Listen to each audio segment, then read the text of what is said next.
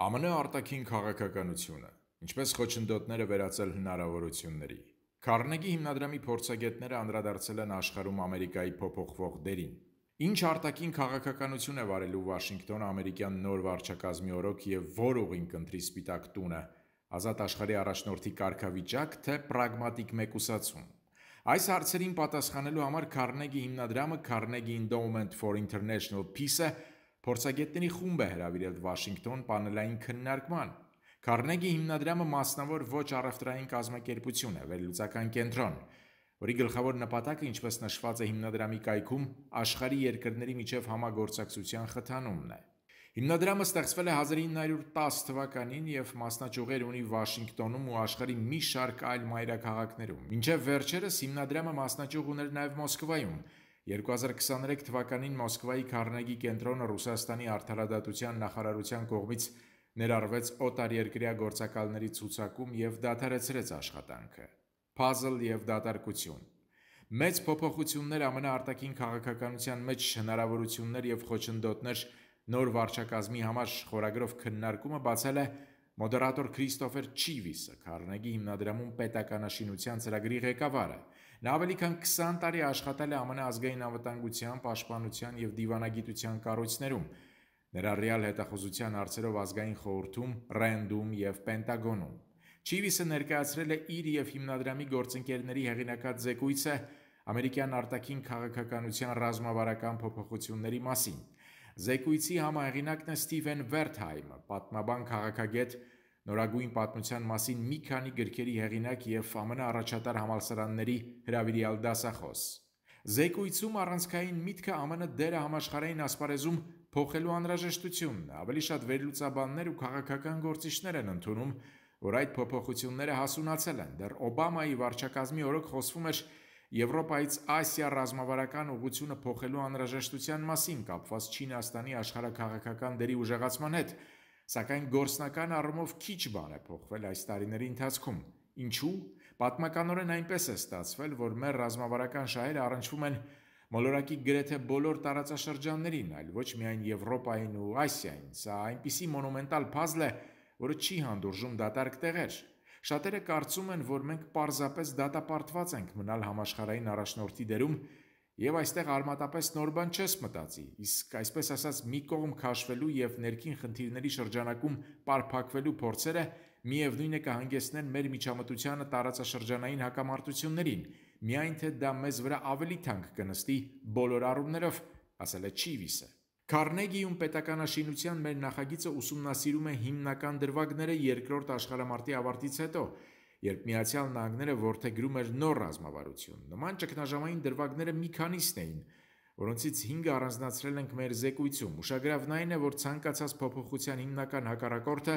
Վաշինգտոնի բյուրոկրատական մեքենան էր, ներառյալ Կոնգրեսը։ Ընդհանրապես, մարդկանց բնորոշ է իներցիան, ինչ որ բան փոխելու բնազդային դժկամությունը եւ արտաքին քաղաքականության ոլորտը բացառություն չէ։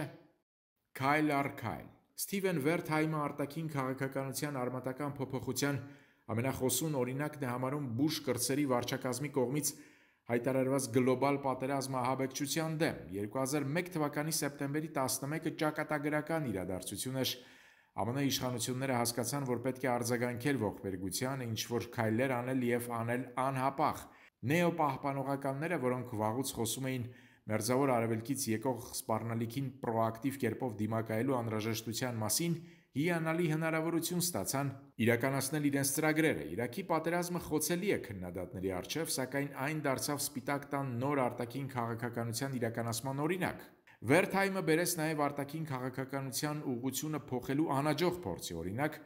այն է հարավային Կորեայից ԱՄՆ զորքերը դուրս բերելու նախագահ Քարթերի ծրագիրը։ Քարթերը այն ժամանակ առաջնորդվում էր Վիետնամի պատերազմի կրկնության մտավախություններով եւ իրավապաշտպան գաղափարներով, սակայն նա չկարողացավ համոզել Վաշինգտոնյան բյուրոկրատիային, ինչպես օրենսդիր կառույցներում, այնպես էլ գործադիր իշխանության մարմիններում։ Հարավային Կորեայից հեռանալու նրա թույլ հիմնավորված գաղափարի դեմ այնքան մարդիկ հանդես եկան, որ Քարթերը ստիպված եղավ հրաժարվել դրանից։ Իսկ հա մտածված եւ հմուտ ռազմավարության հաջող իրականացման օրինակ Վերթհայմի կարծիքով կարող է ծառայել նախագահ Քլինթոնի ՆԱՏՕ-ի ընդլայնման ուղին։ Քլինթոնը չէր շտապում հանգամանալի կշռադատելով իր յուրաքանչյուր քայլը, Հիշեք, ՆԱՏՕ-ին Լեհաստանի, Չեխիայի եւ Հունգարիայի անդամակցությանը նախորդեց զանգվածային քարոզարշավը մամուլում եւ լոբինգը իշխանության միջանցքներում։ Շահագրգռված մյուս երկրները հերթ կանգնեցին ՆԱՏՕ-ին միանալու համար հրապուրված անվտանգության հավաքական երաշխիքներով։ Այն ժամանակ ռազմական բլոկի ընդլայնումը ընթանում էր առանց լարվածության մեծացման, այնպես որ նույնիսկ Ռուսաստանը փաստացի չուներ իր դժգոհությունն արտահայտելու առիթ։ Ճակատագրի օղակը Արտաքին քաղաքականության նոր ուղղություն ուրվագծելու մարտահրավերների մասին խոսել է ԱՄՆ ազգային անվտանգության ոլորտում մոտ 3 տասնամյակ աշխատած Բեթ Սաները։ Նրա կարիերայի գագաթնակետը ԱՄՆ ազգային հետախուզության տնօրենի տեղակալի պաշտոնն էր 2019-21 թվականներին։ Ներկայում նա International Capital Strategies մասնավոր խորհրդատվական ընկերության աշխարհակաղակականության գծով տնօրենն է ու համագործակցում է The German Marshall Fund-ի հետ։ Լինելով Brent Scowcroft-ի երիտասարդ աշխատակիցը, երբ նա ազգային անվտանգության հարցերով ԱՄՆ նախագահի խորհրդականն էր, անձամբ համոզվեցի, որ շատ կարևոր է կանխատեսել վարչակազմի այն ներկայացուցիչների արձագանքը, որոնք չեն կիսում քո հայացքները։ Հիանում էի Brent-ով, նրա սևեռվածությամբ, ռազմավարության հարցերի ուղությամբ։ Իսկ երբ սպիտակ տուն են գալիս Թրամփի նման ոչ համակարգային օտարականները, նախագահի շրջապատում տեսակետների եւ դիրքորոշումների բախումը դառնում է քրիտիկական արտաքին քաղաքականության մեջ ոչ ուղափառ գաղափարների առաջ մղումը առանց Վաշինգտոնի բյուրոկրատիայի աջակցության գրեթե անհնար է հատկապես երբ սպիտակ տունն ու կոնգրեսը ղեկավարում են տարբեր կուսակցությունների ներկայացուցիչներ իր ելույթում Քարնեգի հիմնադրամի ներկայացուցիչ Թոմար Դանսը որը ԱՄՆ ֆինանսների նախարարության միջազգային հարցերով նախկին խորհրդականն է, մտաբերեց հին ժամանակները, երբ աշխատում էր Քարնեգի հիմնադրամի նախկին ղեկավարի հետ եւ նույնիսկ աշխատություն էր գրել խորհրդային կենտրոնական Ասիայում բազմաչություն շարժման մասին։ Երիտասարդ տալիներին դանսը սովորել է ռուսերեն, հետաքրքրվել է Ռուսաստանի եւ նախկին խորհրդային միության հանրապետություններով,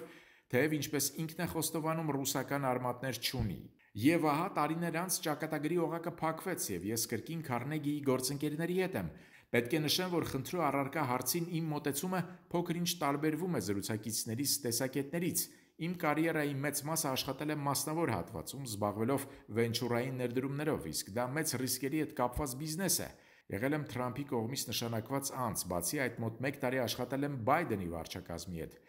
Պետական կառույցներում աշխատանքը ինձ շատ բան է սովորեցրել։ Նախ այն գիտակցումը, որ ըստ էության salesman-ի վաճառողի կարգավիճակում ես, դու պետք է ղեկավարների վաճառես գաղափար կամ հայեցակարգ։ Գիտեք թե որն է դրա լավագույն միջոցը։ Պետք է գաղափարի հեղինակ կամ համահեղինակ դարձնես այն մարդուն, որին առաջարկում ես։ Վաշինգտոնում շատ բանի կհասնես, եթե յուրացնես այդ պրակտիկան։ Ուկրաինայի եւ Գազայի գործոնները Քննարկման մասնակիցները իրենց խոսքում ընդգծեցին, որ Ուկրաինայի դեմ Ռուսաստանի պատերազմը եւ ԱՄՆ օգնությունը ուկրաինացի ժողովրդին ամենակարևոր գործոնն է, որ մեծապես կորոշի Ամերիկայի աշխարհակաղակական ուղին տեսանելի հերանեկարում։ Ստիվեն Վերթհայմը հիշեցրեց. նախագահական աթոռի համար մրցակիցներ Դոնալդ Թրամփի եւ Քամալա Հարիսի դիրքորոշումները Ուկրաինայի արծում խիստ տարբերվում են, դատելով Թրամփի հայտարարություններից նա չափազանց բացասական է տրամադրված ՆԱՏՕ-ի նկատմամբ եւ մտադիր է պահանջել եվրոպական երկրներից բեռի վերաբաշխում իրականացնել։ Խոսվում է անգամ Հյուսիսատլանտյան դաշինքը լքելու Թրամփի սպառնալիքի մասին։ Ինչ վերաբերում է Բայդենի կողմից Ուկրաինային խոստացված ֆինանսական եւ ռազմական օգնությանը, ապա Թրամփը ակնհայտորեն տրամադրված է կրճատել այն։ Թերևս Թրամփը հաճախ է իր արամերժ պնդումներ անում եւ նրա հայտարարությունները չի կարելի միանշանակ ընդունել, նկատել է Վերթհայմը։ Նրա կարծիքով, եթե Սպիտակ տան ղեկը ստանձնի Քամալա Հարիսը, ապա նա ստիպված կլինի յուրացնել նախկինում իր համար գրեթե անծանոթ մի ուղություն։ Այս պարագայում խոսքը նախ եւ առաջ Գազայի հակամարտության մասին է։ Այստեղ ամեն ինչ սերտորեն փոխկապակցված է, եւ Համասը եւ Հեզբոլահը Իրանի հետ են, եւ իհարկե հութիները։ Տեսնում ենք, որ Մերձավոր Արևելքը մեծ պատերազմի շեմին է։ Հարիսի կաբինետը ստիպված կլինի հնդածս մշակել Մերձավոր Արևելյան ռազմավարություն նոր սերնդի համար։ Կարծում եմ Աֆղանստանից ամենահապճեպ հեռանալու բացասական փորձը ամերիկյան զինծառայողների շրջանում մեծ թվով զոհերով կարող է մեկնարկային կետ դառնալ արտաքին քաղաքականության ուղղության շտկման համար։ Քննարկման մասնակիցները համակարծիք էին, որ ԱՄՆ նախագահի տեխնացուներին դժվար փորձություն է սպասվում արտաքին քաղաքական ծրագրերի իրականացման հարցում, հատկապես այն ծրագրերի, որոնք փոխում են երկրի շարժման վեկտորը։ Մենք հրաշալի գիտենք, թե որքան ծանրաշարժ կարող է լինել Վաշինգտոնյան բյուրոկրատիան։ Իներցիան հաղթահարելու համար զգալի ջանքեր կպահանջվեն եւ իհարկե սկզբունքորեն կարևոր կլինի կոնգրեսի երկու պալատներում դեմոկրատների եւ հանրապետականների ձայների հավասարակշռությունը, ընդգծել է Բետ Սաները։ Ամերիկայի ձայն, Վաշինգտոն,